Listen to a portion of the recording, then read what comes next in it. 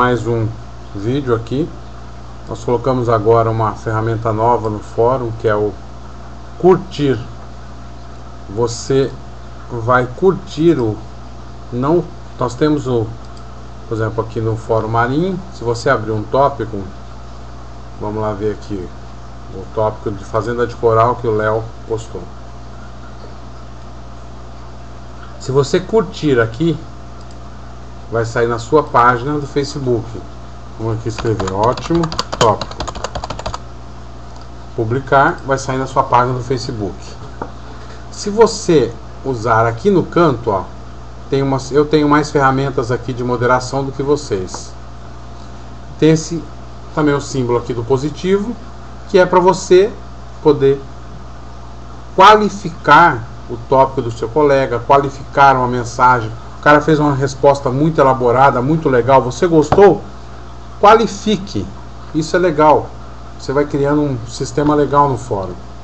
Você está reconhecendo o esforço do seu colega. Então está aqui, ó, essa mensagem já foi, ó. Aqui no meu caso aparece já as pessoas que já qualificaram essa mensagem, que gostaram. Tá vendo? Eu vou clicar aqui também, que eu vou curtir também esse, esse tópico dele, que eu gostei curtiu e já volta direto na mensagem. Tá aqui. É um sistema legal, já está liberado em parte dos fóruns. Nós estamos em fase de teste ainda, vendo como funciona para poder continuar usando. Aqui você tem, ó, lista top, que são os tópicos que foram mais receberam curtir. Esse tópico do Mauro Becker, que foi uma doação que ele colocou no classificado. Eu achei uma ótima atitude dele, por isso eu curti. Então tá aqui, ó.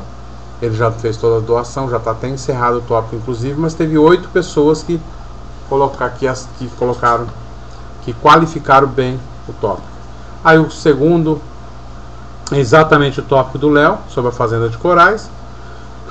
Depois aqui foi uma, essa daqui não conta porque era um teste que a gente estava fazendo.